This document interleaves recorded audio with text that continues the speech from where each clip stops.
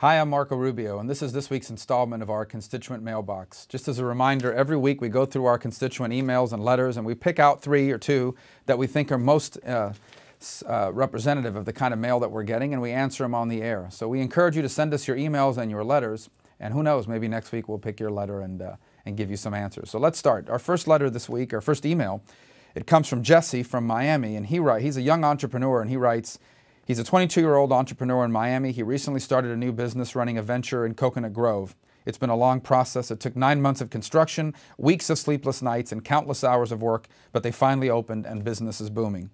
As a young guy starting a business, I can't begin to tell you how thrilling it is to bring something from the ground up and see revenue coming in. Is as close to having a child as I've ever had.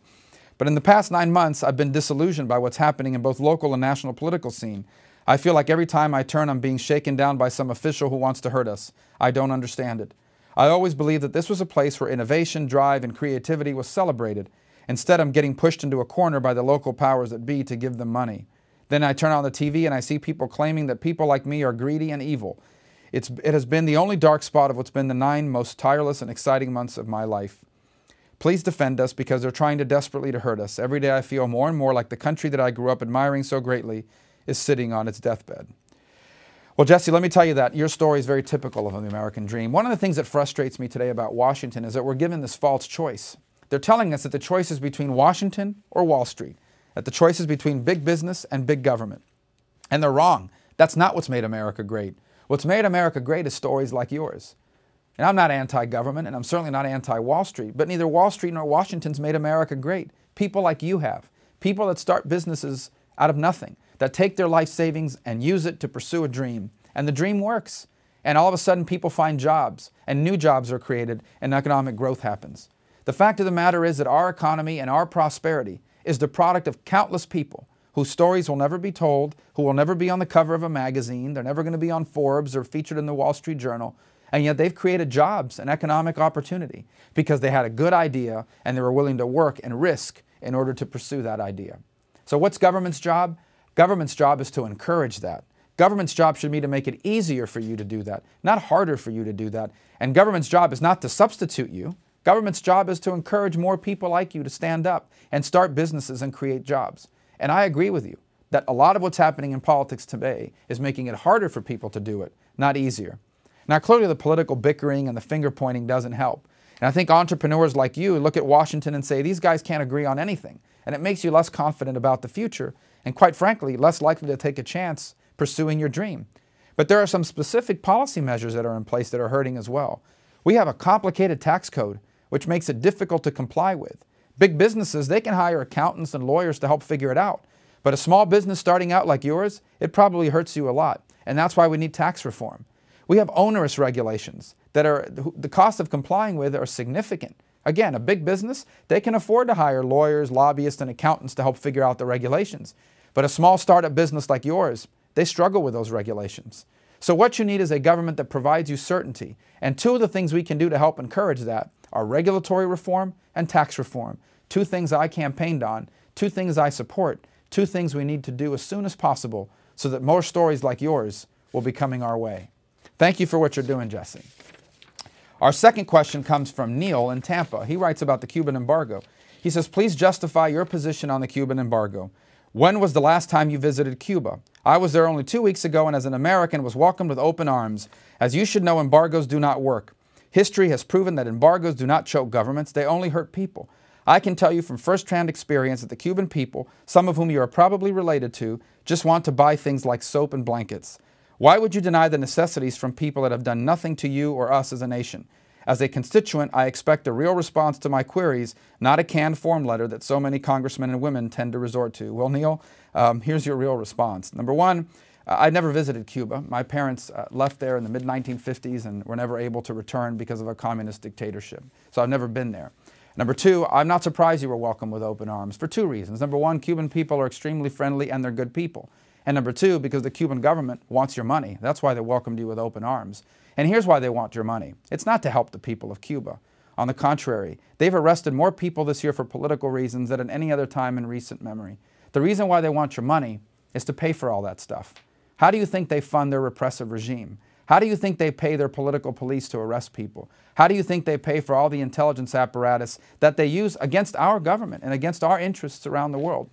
They pay for it, a lot of it, from money that we send from this country and money from visitors like yourself who travel to Cuba and pay exorbitant fees, and then that money goes right into the coffers of the Cuban government. Now, I know that's not why you went, but that's why they want you there, and that's why the Cuban government welcomes you with open arms. Now, let's talk about the embargo for a second. Because you say the Cuban people are struggling economically, they are. And you know whose fault that is? It's not the U.S. or the embargo. It's the incompetence of the Cuban government. A government that was subsidized massively by the Soviets and now is subsidized by Venezuela. They can buy soap and blankets and all these other products from any country in the world. They can buy anything they want from Canada or Mexico or any country that will sell it to them. The reason why they can't buy it is because they have no economy. Because the people running Cuba, number one, are communist and communism doesn't work. And number two, they're incompetent. They don't know what they're doing. And they've ruined the Cuban economy. There is no Cuban economy, not because of the U.S. embargo, but because the leaders of the country are incompetent. Now, here's why we need a U.S. embargo. Because at the end of the day, the economic system that Cuba chooses is up to the Cuban people. They get to decide that. What the Cuban people deserve is democracy. Why is Cuba the only country in the Western Hemisphere that doesn't have elections? Even Venezuela under Hugo Chavez, even, Nicaragua under a former Sandinista, Daniel Ortega, has elections. Why can't the Cuban people have elections? Why can't they have the same rights that you have? They're no less worthy of it than I am, you are, anybody else is. So, what can we do to help bring elections about? It's very simple. It's very, very simple. When the Castro brothers are gone, someone's going to take over. And if they want to have a relationship with the United States, they need to have a democracy. And so the only leverage we have is that embargo. And so that's why I'm in favor of the embargo. And that's why I hope that we'll continue to have our embargo on Cuba and that we'll stop sending money to the Castro government that they use to oppress people who all they want is their freedom. Thank you for your email. And, uh, and finally, our third email comes from William in Jacksonville, and it's regarding political nonsense. He writes, I'm writing again to ask to do whatever possible to stop the partisanship in Washington. The Republican prom Party promised a break from this sort of politics as usual, yet I just read that the White House has been subpoenaed for something as ridiculous as records regarding Solyndra. Why at the same time Congress is take, taking on the monumental task of voting on our national motto? There is far more important work to do than engage in such political nonsense. I implore you to help your constituents and get on to more important business, such as improving our economy.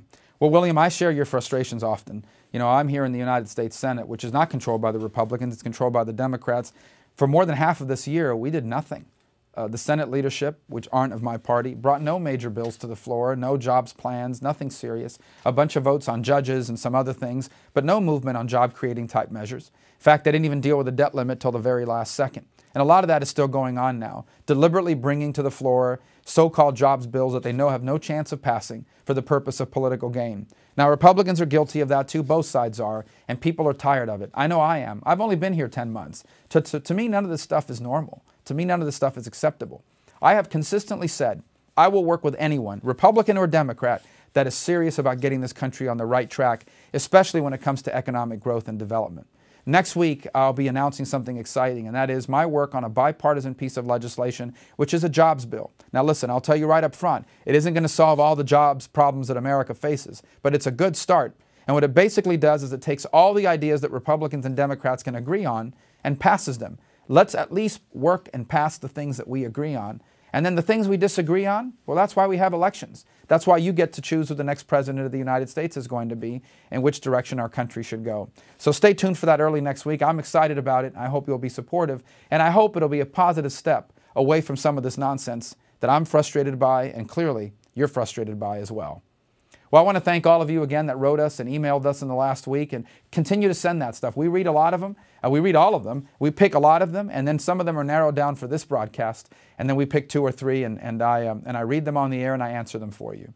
Once again, thank you for the blessing and the privilege of serving you here in the United States Senate. May God bless all of you. May God bless the state of Florida. And may God always bless the United States of America.